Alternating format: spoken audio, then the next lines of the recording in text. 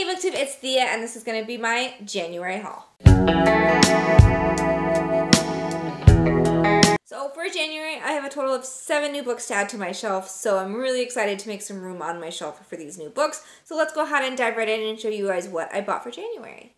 So the first book that I actually got in January came from my new uh, Blue Spider Books subscription box, which if you haven't seen my unboxing for, I'll link that down below. My boyfriend's sister got me a six month subscription, so it's going to be really fun to kind of see the randomness of the books that are coming.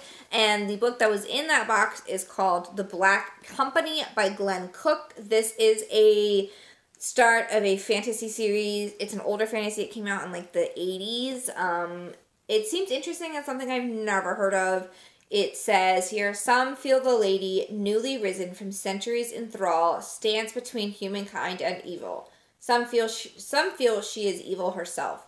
The hard-bitten men of the Black Company take their pay and do what they must, burying their doubts with their dead, until the prophecy. The white rose has been reborn, somewhere to embody good once more. There must be a way for the Black Company to find her. This sounds like it's going to be a lot of fun. Um, I have been really itching to read a really good fantasy lately, and I'm all about kind of being introduced to some new fantasy, and this is something I've never heard of, so I'm really excited to dive into this. I took a recent trip to my used bookstore, and this is where I acquired the next five books on this um, list, and that's a lot for me to haul at once. I don't normally haul this many, but it was they were great finds. I couldn't pass them up. And the first one here is Geektastic, Stories from the Nerd Herd, edited by Holly Black.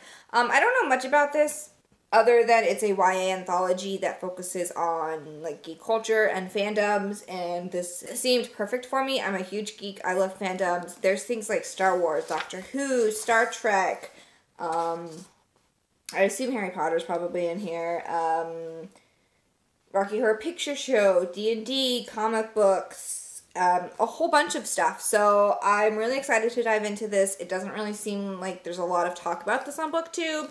I don't know if it's just not well known or if it's underrated, but I'm really excited to try this. There's also a lot of authors in here that I've never actually read from. Libba Bray, Garth Nix, Scott Westerfeld, David Levithan, who I have read from.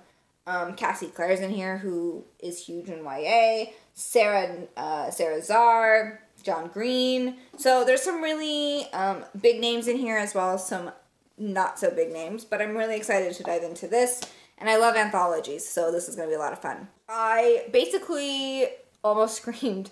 I got so excited when I found these at my used bookstore. Um, and that is The Savage Song and Our Dark Duet by Victoria Schwab. Victor, I mean, we all love Victoria Schwab. You either love her or you hate her here on BookTube. I fall into the love category. Love her books, love her writing style. Um, I have been wanting to read these forever. These are very good condition. They're both used, but they're basically brand new. And this one is apparently really hard to find. Um, but I'm really excited to dive into these and officially have them now for my shelves.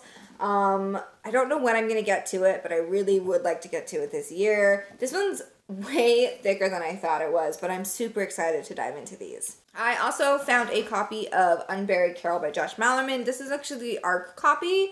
Um, I loved Bird Box when I read it two years ago, and um, I got super excited when I found this. This is his most recent novel. I believe it came out like April of 2018 and I've been wanting to read it forever and finding an ARC copy was super cool and a lot of fun so I'm really excited to dive into this.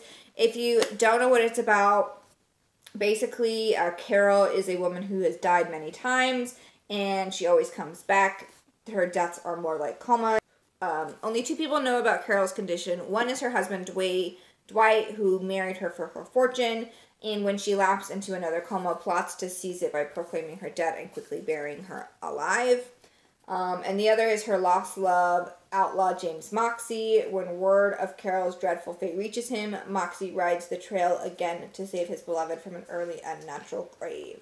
All the while awake and aware, Carol fights to free herself from the crippling darkness that binds her, summoning her own fierce will to survive.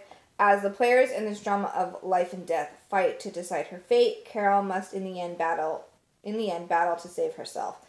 The haunting story of a woman literally bringing herself back to from the dead, Unbury Carol is a twisted take on a Sleeping Beauty myth that will stay with you long after you've turned the final page. I've heard that this isn't as good as Bird Box, and most people don't like it as much as Bird Box, but I'm super intrigued. I've been wanting to read it for a long time, so I'm super excited that I have this. I also found a copy of The Legend of Zelda Oracle of Seasons and Oracle of Ages Legendary Edition. This is the manga series that um, follows the story from the video games.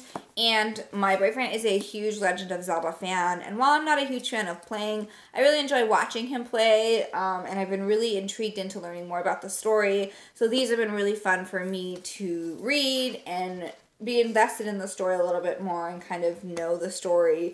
And the manga, the art style is absolutely adorable and it's so much fun to read these. They are not the cheapest things new. I think brand new they're like almost $20. But when I found this for $9, I knew I had to get it. And we've been trying to slowly collect them. So I'm really excited to finally read this one as well.